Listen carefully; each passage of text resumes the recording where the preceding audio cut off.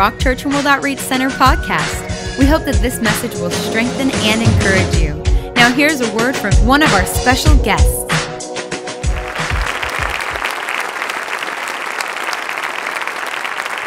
Come on, guys, let's give big round of applause to our Lord Jesus Christ. Amen. All right, turn to someone, give five, and please be seated. It's a good Sunday night. You are in church. You are real Christians. You know that? If you come to church twice, I mean, come on. Are you agree with me? God is doing amazing stuff. Listen, I believe, I believe I was standing there and worshiping God with you guys, and I believe God spoke to me and He said, This church is on the edge of big revival. I believe, li- listen, I believe this. I don't say it often, seriously. I don't prophesy in different churches. I'm okay to prophesy in my own church, to my own people, but I believe this church is, is in the edge of a great and big revival. So you guys, you guys just be ready. Come on, guys. Just be ready. Turn to someone and say, just be ready because it's coming. Ready because it's coming. I'm gonna speak about revival tonight because I believe many of us we need our personal revival in our lives. And you know what? I I was thinking about this about a couple of a few months ago when. Um, uh, when uh, you, you, know we had this uh, Hillsong conference and Hillsong conference in Australia, they had this motto like a slogan. It goes like this: "This is revival. This is revival." And they were showing uh, this big advertisement for the conference, and they were showing some things like revivals from the past. You guys had your revivals in the past in America, in Europe, somewhere. And you know what? We are Hillsong Church. And being a pastor of Hillsong Church, we are following the same visions, same thoughts, same passion, and same revival. On, and of course, we translate everything like we are singing Hillsong songs, and uh, you know, we are pirating country, so we just pirate everything, we copy everything. Hallelujah. We have this law called copyright, which means a right to copy. That's that's how we read it. Come on, somebody. And you know what? Um, few months ago, when we showed this to our people, this is revival, and I believe. Um, you know, in Australia, they were showing these big revivals from the past. Revivals like with Billy Graham. And you know, at that advertisement, it says, This reminds us of the glorious revival in the past. And you know what? Being a Hillsong church, we take the same advertisement because we want to people to be encouraged. What's happening in Australia? What's happening in Europe? And I remember I was showing this big revival. Have you seen those revivals? Like with Billy Graham, with hundreds of thousands of people, like Reinhard Bonnke, hundreds of thousands of people. And I remember I brought this video to our church to Kiev. And you need to understand, back in Australia, when they were showing those big revivals, people were cheering up, they were clapping, they were so, uh, you know, so happy to see those revivals. When I saw this, when I showed this in Kiev, like no reaction. Like nothing. And I was sitting there and I thought to myself, when we are talking revival, it is so natural for you guys to understand those things because you guys had your own revivals. You understand what revival is, but for us, it is such an, uh, you know, foreign um, thing for our country and for our people. And when I saw that our people, no reaction, because, you know, it says it reminds us of the glorious revivals, and our, sitting, our people were sitting there, it doesn't remind me anything. Because in our land, we never had revival. Yes, we are Christian culture, and you know what? A thousand years ago, exactly 1025 years in the year of 989 Christianity came to our land and to our country and at that day the whole city of Kiev was baptized in the water I'm calling this revival. Come on, someone. Can you imagine the whole city would be baptized in the water? Like, think about San Bernardino. Whole city would be baptized in the water in one day. That's revival I'm talking about. And I started to think about it. How can I explain about revival to our people? As a pastor, I want to have revival. I want to have awakening. I want to have a move of God in our church. But to be honest with you, I did not know how to explain this to our people. Maybe you are sitting here in this auditorium and maybe you are new to church. You never heard about those revivals from the past. So this message may be for you. Because we, for some of us, we are living like in a Christian bubble sometime. We are talking about guys like Reinhard Bonnke, and you are sitting there and you are thinking, who is Reinhard Bonnke? Is he some kind of, you know, some biologist or something like that? No, no, no. We need to know about revival ourselves. And Bible would be the best answer for me how to have revival for my own people, for my own church, come on somebody, for my own country. And I found two stories. One of them in the Old Testament and one of them in the New Testament. One story about the guy named Jacob. One man went somewhere and somehow in some place went to sleep. But when he was awake, he did, did not just awake physically, but he was awake different person. Let's read together from Genesis chapter 8, verse 10. It says this Now Jacob went out from Beersheba and went towards Haran. So he came to a certain place. Come on, say with me, certain place. He came to a certain place and stayed there all night because the sun had set. Come on, repeat with me because the sun had set. And he took one of the stones of that place and put at his head. I don't know how can you put the, the, the stones in your head, but you, you, you know, that's, that's English here. And he lay down in that place to sleep. Then he dreamed, and behold, a ladder was set up on the earth, and its top reached to heaven. And there are they, and there is the angels of the Lord were ascending and descending on it. And behold, the Lord stood above it and said, I am the Lord God of Abraham, your father, and God of Isaac, and so on and so on. on. Let's jump to verse 16. Then Jacob awoke from his sleep. Can I ask you to repeat with me? Awoke from his sleep. Then Jacob awoke from his sleep and said, Surely the Lord is in this place. Oh, I love these guys. Surely the Lord is in this place, and I did not know it.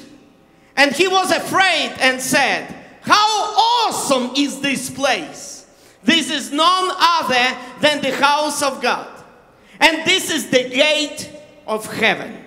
Then Jacob rose early in the morning and took the stone that he had put at his head, set it up as a pillar, and poured oil on the top of it.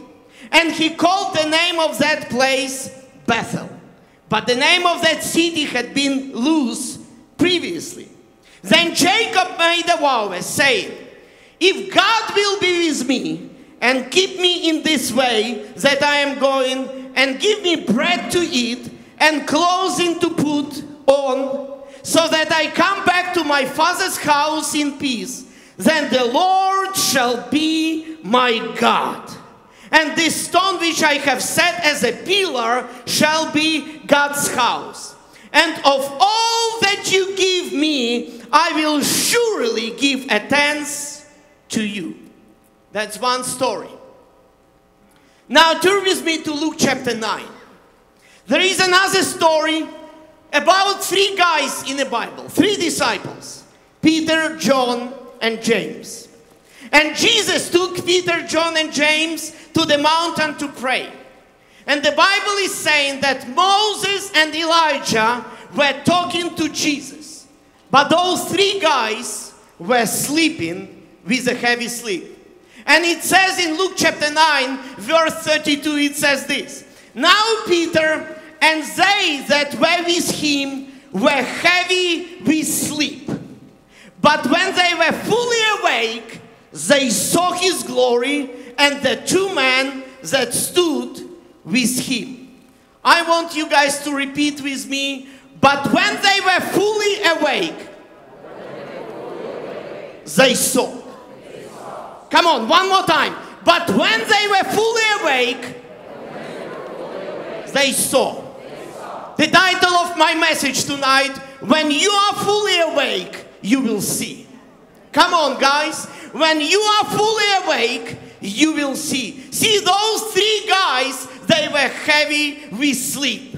But when they were fully awake, Bible said, they saw Jesus and all his glory. I believe in order for us to have revival in our lives, we just need to be fully awake in our lives.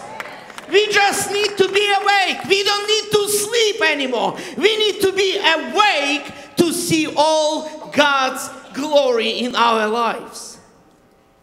In the first story, Jacob came to a certain place. I want to talk a little bit about that story. He came to a certain place, nothing special, just the place. He stopped there because the Bible says it was late and he was tired. Now, listen to me. It was not because God has put a spiritual GPS into Jacob to bring him to the place of revival. Are you following me? It, it was not like God has put GPS and he said 500 miles to destination. 400 miles to this and Jacob get more excited and more excited and more excited. You know one mile to destination and Jacob is like I cannot wait to, for, to come to the place of revival. No no no it was not like that. He came to that place simply because it was late and he was tired but can I say straight into your face you don't have to chase God in the specific places because real revival starts within you, not around you. Come on, church. Come on. Real revival starts within you, not around you. I believe God is moving today all over the earth. He moves in the big churches, and I believe He moves in the small churches. But sometimes people need to be awake and start notice God in the place where you are right now. Sometimes people, uh, you know, they are running for the place of revival. Stop running. Because real revival starts not around you, it starts in you. That's what I believe. I believe that. When Jacob had his wrong awakening, it changed his attitude towards that place. That is why I believe you can go to the small village and start revival in a small village. Because real revival starts within you. And guess what? You bring that revival with you to the small village. Some people there run into the place, oh, revival is here, they come here. Now, revival is here. They come here. Stop running. Make sure that you have revival inside of you, not around you. Come on.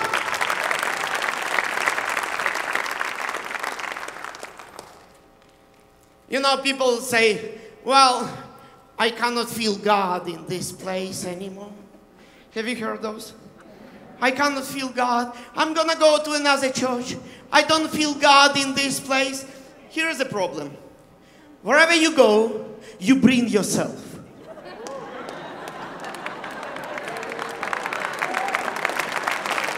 Come on. If you don't feel revival in this place, there is no guarantee you will feel revival in that place. You know what? You can have Joyce Meyer and Reinhard Bonnke and Benny Hinn and Pastor Brian Houston and Pastor Jim Cobre and Pastor Zhenya Kasevich and, and Jesus Christ himself lay their hands on your head. But listen to me, if you don't have revival inside of you, that's not gonna change anything in your own life. Make sure you have your personal revival. When they were fully awake, they saw. My point number one, my thought number one for tonight. When you are fully awake for God's revival, place does not matter. Are you with me, church? Place does not matter. Sometimes people change place. They change church. They change gathering because they are looking for revival in certain places. Listen, if I believe that revival depends on a certain place, but not on the condition of my own heart, I will look for revival everywhere and I'm not gonna find it in my life. Place is not important. The inner condition of your heart, that's what's important. That's what's important. Uh, this, this lady came to Jesus once and uh, and, you know, you remember the story about Jesus and Samaritan woman, and uh, uh, you know, she, he said, "Give me this water to drink," and uh, um, and Jesus was telling her the story of her life, and she had five husbands, and husband number six is not her husband, and uh, uh Jesus started to to talk about the living water, and she said, "Go and bring your husband." right now, and she said, Well, I don't have a husband, and she said it, it's true. And it goes like this. And she said, Oh, so you are the prophet. Well, tell me this. Our ancestors were worshiping God at this mountain, but you Jews insist that Jerusalem is the only place for worship. Come on, say with me, only place. Only place for worship, right? And Jesus said, Believe me, woman, the time is coming when you Samaritans will worship the Father neither here at this mountain, not there in Jerusalem. You worship guessing in the dark. We Jews worship in the clear light of a day. God's way of salvation is made available through the Jews. And listen to this. But time is coming. Come on, somebody. But time is coming. It has, in fact, come when what you are called will not matter and where would you go to worship will not matter. Places not matter. What's happening inside of your heart that's what matter in your own life. Would you agree with me? Come on let's give it up for jesus one more time in this order. I am praying i am praying that you would have such a revival in your own heart that wherever you go you bring your revival with you. Wherever you go bring revival with you. Can I honestly say? Well, I've been honest all day today, hey. Sometime on my day off, I would go to those beautiful cathedrals, Orthodox churches, Catholic churches. There are so many of them in Kiev. And my people would, would find out that sometime I would go to the Orthodox church and they would say, How can you go to the Orthodox church? It's a dead religious place. And I'm like, I don't know. But then when I'm going there, I feel God in that place. Because the God which I feel, I bring inside of me. It's not around me. I bring it with me to that place. Wherever you go, you bring God in that place. Just go, don't go to the nightclub, okay? I feel God in me. I'm gonna go to the nightclub. No, no, no, it doesn't work that way.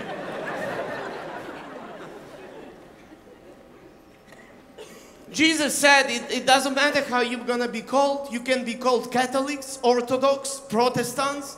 It doesn't matter how you be, how you're gonna be called. The, what the matter is that you need revival inside of you. You need revival inside of you. Uh, I don't know how much you know about Hillsong Church, but you know we we have churches in big cities like like you know like moscow kiev and sydney and london and new york and cape town and some of those big cities now in barcelona. And then we have place called constance in germany. Now nobody knows constance. Why do we have church hillsong church in constance in germany?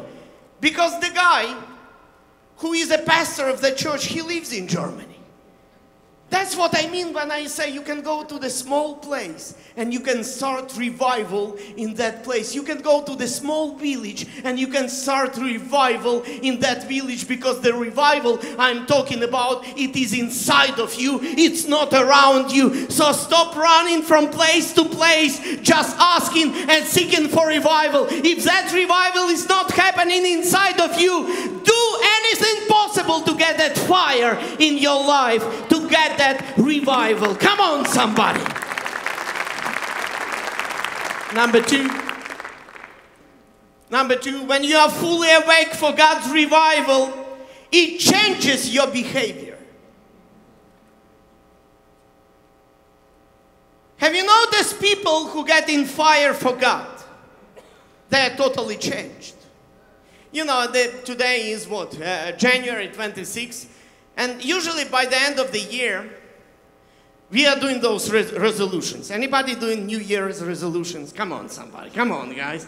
Let's be honest, 95% of those resolutions never happens. well, at least in Russia. Maybe here it's different. Uh, resolution I'm gonna eat well. I'm gonna exercise from New Year. I'm gonna read my Bible. I'm gonna pray. I'm gonna cut off sugar. 95 of those percent of those resolutions never happens in our. Uh, come on, Uh, is it only me like that? I made some of those resolutions.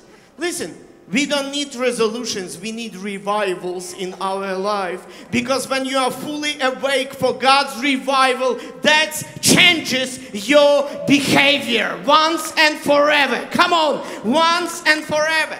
The behavior of the person is not depend on the decision of the person most of the time. Your spiritual behavior primarily depends on whether you are spiritually sleeping or spiritually awake. When you are spiritually awake, it changes everything. Changes every. I pray for every person in this auditorium that you would be spiritually awake in Jesus' name. Because when you are spiritually awake, the behavior is gonna change itself. When you are spiritually awake, that's what gets you up from the uh, at 7 a.m. or 6 a.m. every morning from your bed. When you are spiritually awake. Come on, turn to someone and say, He's talking to you. He's talking to you right now. When you are fully awake for God's revival, it changes your behavior. Number three, when you are fully awake for God's revival, many of your dreams will be about God's house. Many of your dreams will be about God's house. In that story about Jacob, in verse 22, it says this And this stone which I have set as a pillar shall be God's house. Jacob starts to dream about God's house. Jacob starts to dream about the, you know, the beauty of that place, the beauty of that house. When I came to Jesus, I was playing in heavy metal rock band, and all my ideas and all my dreams were one day to have a drum kit for our band, really good drum kit. And you know what? When I got saved, I get full of the Holy Ghost. I was spiritually awake, and suddenly I'm not talking about the drum kit for my heavy metal band, but I'm talking about the drum kit for my church. Totally changed. Absolutely. Suddenly you start thinking about what can you do in church? What can you do here? What can you do in this ministry? I think my wife and I, we've been in every possible ministry in our church. Not because they kick us out from the ministry to ministry. No, no, no, not, not like that. Because we were busy all the time. We wanted to serve and we were dreaming about God's house in our own life. Anybody understands what I'm talking about? When you are spiritually awake, you can see need after need after need after and you respond. And you respond. And you respond. That's what happens when you get spiritually awake in your own life. Oh my goodness, I pray that you would be spiritually awake tonight because you know what? Revival is not gonna start with these folks. Revival is gonna start with all of these folks. That's when revival is gonna start. Come on church. Number four. Number you're not gonna like number four so i'm just gonna jump to number five straight away. Or you want number four? You want number four? Sure. Your fault. You wanted it when you are fully awake for God's revival, you stop questioning money issue. I'm telling you. I'm telling you. When you start to think and dream about the church, when you start to think and dream about salvation, there is no question about money anymore. You understand. Uh, you understand that you're gonna invest your tithes and offerings, and your tithes and offerings are gonna go for salvation of this earth. You stop questioning money issue. Come on, guys. It says in verse 22, and this stone which I have set as a pillar shall be God's house. And listen to this, and of all you give me, I will surely give a tenth to you. Now, my favorite word in this passage of scripture is surely. It's like, no question. Sure. Tithes, no question. Offerings, no question. Building fund, freedom for our future, no question. I understand that. I agree with that. I participate with my life, with my family. Surely, come on, guys, let's say together, surely. When Pastor Dan or Pastor Luke would come and they would encourage us to give our tithes and offerings, don't just clap like that. Say surely! I cannot wait! Oh, not again. Oh, it's that tithes and offering time. Listen, when you are fully awake for God's revival, you stop questioning money issue. I hear preachers often say that people need revelation about giving. What if they never get this revelation? I believe what people need, they don't need revelation, they need revival. And when they get revival, they will get that revelation in their own lives. Surely, surely I give my thanks to you. No problem. There is a guy in the Bible, his name is Zacchaeus. He was a tax collector and he was not probably a nice guy. And Jesus one day he said to him, I need to go to your place and have a dinner at your home. In Luke chapter 19 verse 8 it says this Zacchaeus just stood there a little stunned. Not because he said, Oh my goodness, how much it's gonna cost me. No, no, no, not because of that.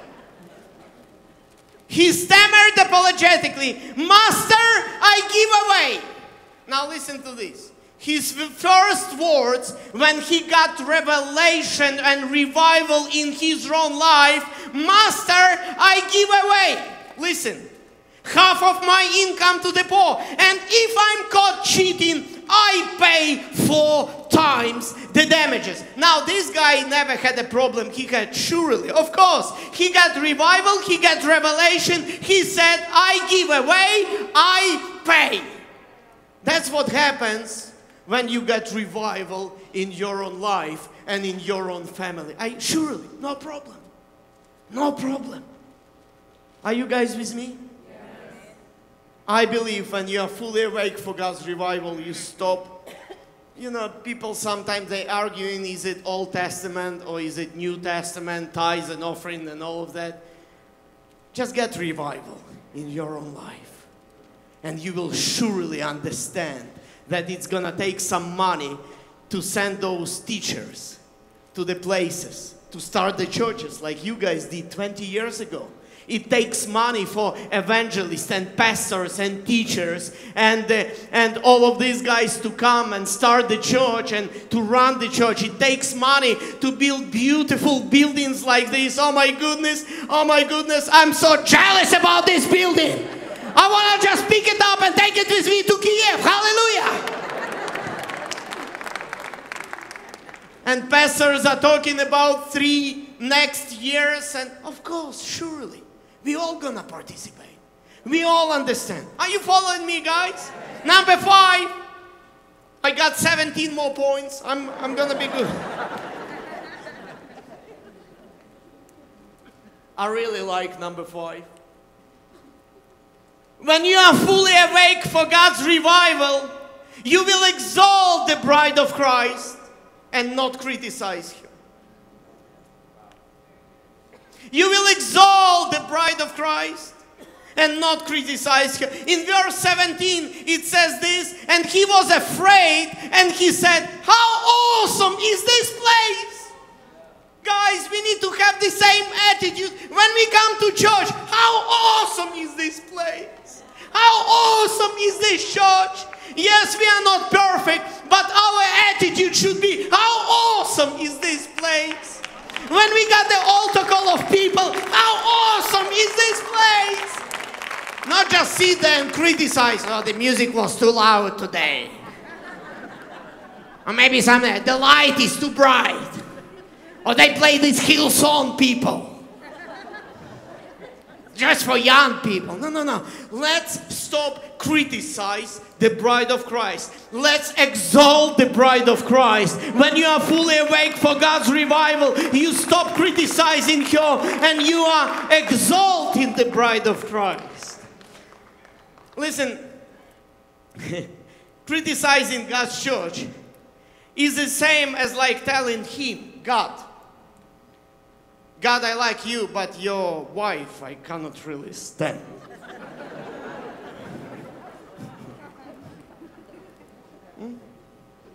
That's his bride. That's his bride. Anytime we are criticizing the church. Now, listen.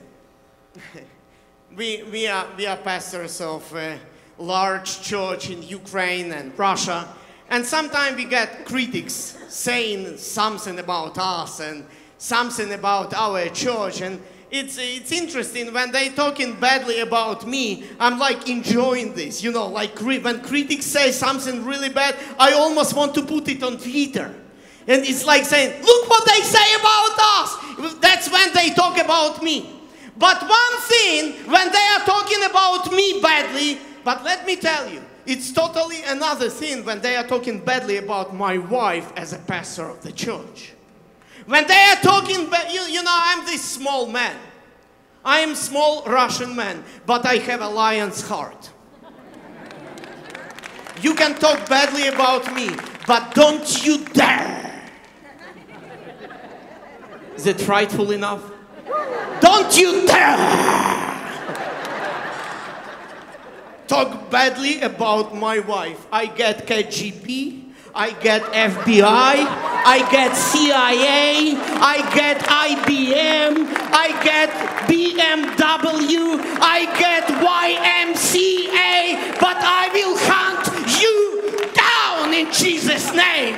If you talk badly about her, you can talk badly about me, but don't you dare talk badly about my wife. She's my bride. Come on, you can clap much better than this. Come on, guys.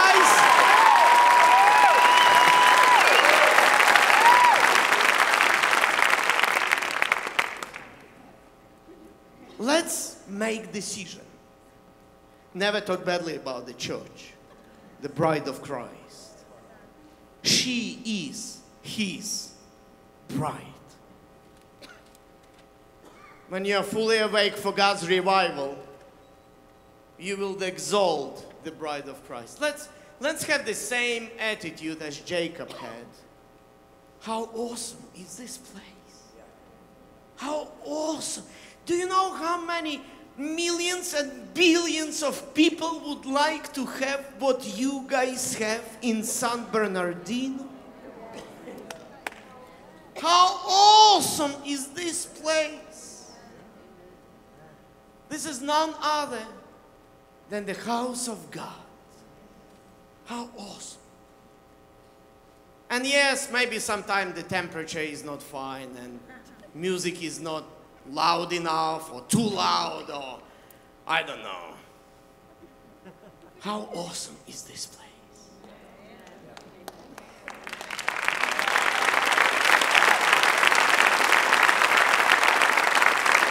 I don't, I don't believe any church is perfect while we are here on this earth. None of us are perfect. I'm thinking about our church. Few thousands of people who are meeting in a tent. When it's minus 20 outside, guess what? It's minus 20 inside. and people are coming three, four hours before the first service and they bring those big gas heaters, like huge gas heaters, and they are warming up the place. So when we start the church service on 10 o'clock, people would come through those doors of that tent and they would say, How awesome is this place? Now it's a, it's a tent! What are you talking about? It's a tent! It's like a circus tent. It's ugly. But our attitude, when we see people get saved, how awesome is this place?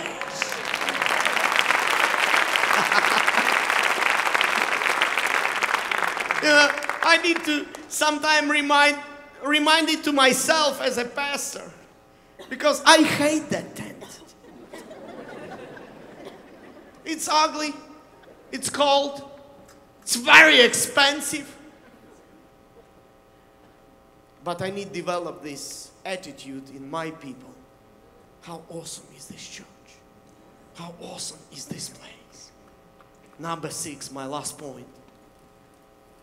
My last point. Your revival is your responsibility. Did you hear me? Your revival is your response. Sometimes we are thinking, oh, my revival depends on the teaching of the pastor. No, it's not.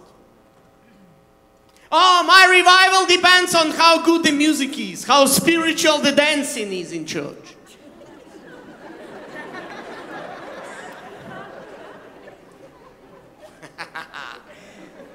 and people are looking for those things in life, but they forget the main thing my revival is my responsibility.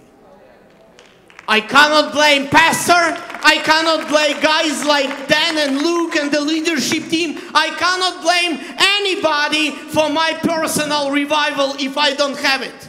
My personal revival is my responsibility. Listen to this in verse 16. Then Jacob awoke from his sleep and he said, Surely the Lord is in this place, and I did not know it. See, he puts responsibility on I. The Lord is in this place, and I did not know it. That's my responsibility. My responsibility to understand where revival is, how revival works in my own life. In James chapter 4, verse 8, it says this Come close to God, and God will come close to you. But listen, first of all, you come close to God. It's your responsibility to come to the place of revival, to come to the attitude of revival. Come close to God. Don't sit and wait. Oh, God, come, come. I'm gonna just sit here. No, no, no. It's your responsibility. Come close to God, and then God will come close to you. Your revival is your responsibility.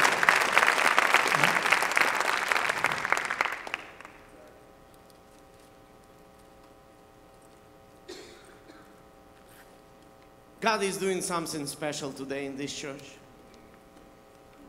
And we can sit and just watch, or we can take responsibility on our own shoulders and we can say, I want to experience God's revival in this church. I really believe this church is in the edge of revival right now. But this revival is going to depend on everyone in this auditorium. Father God, I thank you for this church.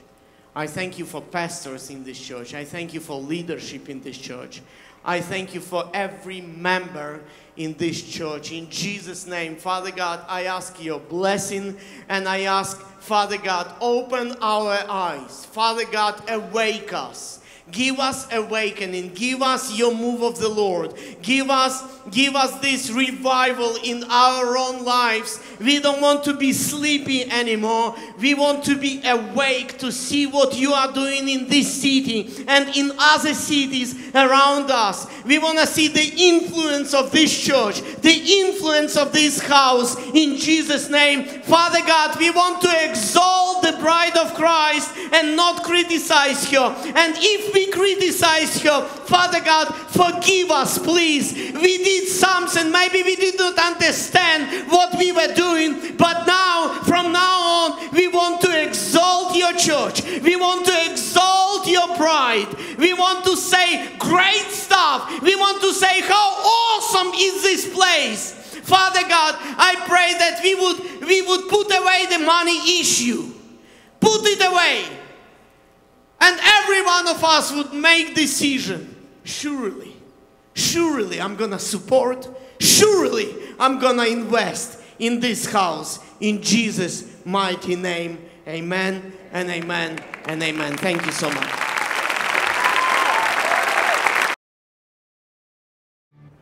Fantastic. Let's bow down our heads for a few minutes. I want to talk to you in this last portion of our service about your personal relationship with the Lord Jesus Christ. Maybe you are here in this auditorium for the first time. I just want to say, Jesus changed my life. He gave me salvation. He gave me an amazing future. He gave me eternal life with Him in heaven. And right now, I want to talk to you about your personal relationship with the Lord Jesus Christ. Right now, where you're sitting, I'm just interested. Maybe you came here for the first time. Maybe you've been coming here to this church for quite some time, but you never accept Jesus as your personal Lord and Savior. See, many people, when they live in Christian culture, they don't understand that they need to receive Jesus personally. I was like that. I remember back in 1991, 92, that big monster called Soviet Union has collapsed. And those pastors and teachers and evangelists started to come to our country. And one of those group of people were people from Sydney, Australia. And when they came, they started to tell us about Jesus and about personal relationship with the Lord Jesus Christ. But I was not interested. I was just interested because they said to us, we're gonna, we need musicians and singers, so we're gonna pay you few dollars to play for our church services. But I was so far away from the Lord, I did not know the Lord Jesus Christ myself. And yet I thought I am okay with God. Because you know, sometimes you go to church, you come to church twice a year for Easter and for Christmas. And then when these guys started the church, somehow the pastor started to talk about your personal relationship with Jesus Christ. I was playing on the stage on my bass guitar and I was not saved. For about two months I was doing this. And during the message, as you would understand, I was not interested in the message of Jesus. I would go down to the bar, we were renting this movie theater and I would go during the message, during 40 minutes message or 45 minutes, I would go down to the bar, smoke cigarette, drink vodka, and would go back to play for that thing called altar call. High in spirits. Hallelujah. and then one day, about two months later, it hits me. Suddenly, I understood I need to receive Jesus. Because I heard those words from Romans chapter 10, verse 9. If you believe in your heart and if you confess with your mouth that Jesus is Lord, you will be saved. And right now, I want to pray for those of you guys. Maybe you've been coming to this church, but now, and maybe you believe in your heart, but you never confess with your own mouth that Jesus is Lord. I want to pray this prayer.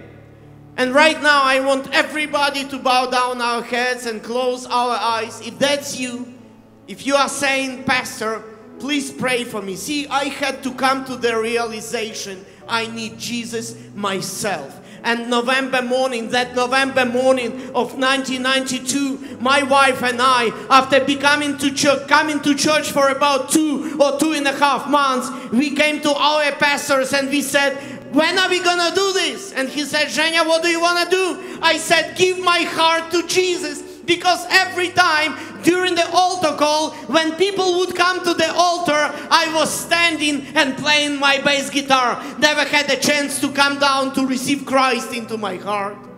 And pastor said, you can pray right now. See, it took me two months to realize I need personal relationship with Jesus. And I prayed that, that prayer of salvation, my life changed. I went to Bible college. Three and a half years later, or four years later, I became a pastor of that same church. My life completely changed. And maybe you are not called to be a pastor, but I'm talking about your personal relationship with the Lord Jesus Christ. Right now, as I'm speaking, I'm gonna count to three.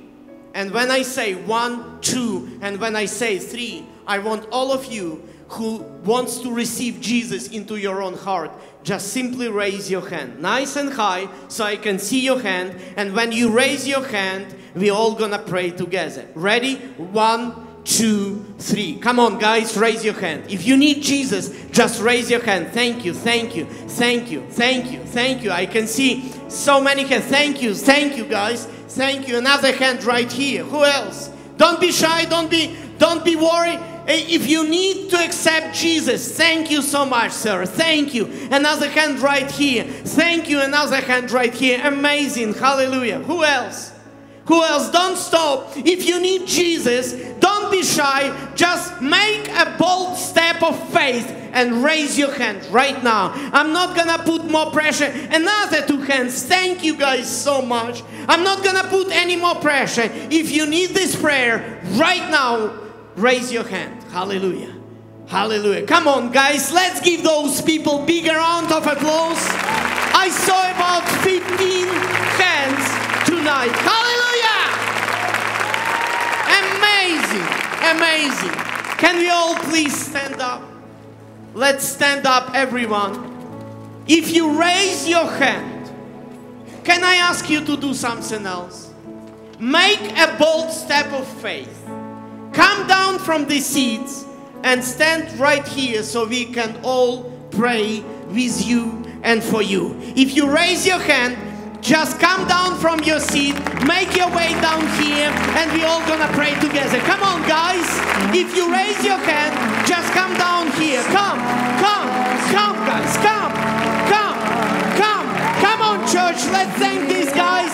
Let's thank these folks. Come, come, come. Come on, guys.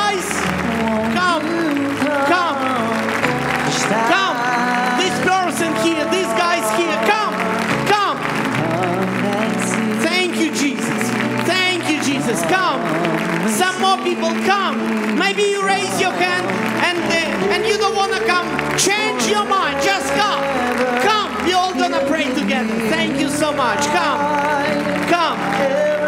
Hallelujah. Hallelujah. Come on, church. Let let's thank these folks one more time. Amen. Amen. Amen. Fantastic.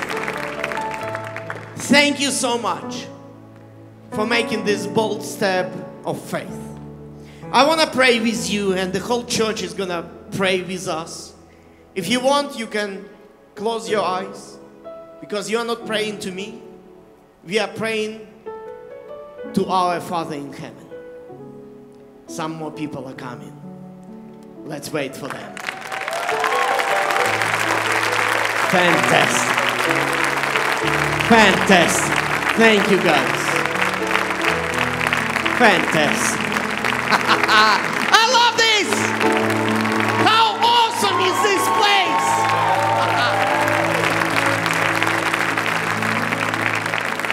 Let's all pray.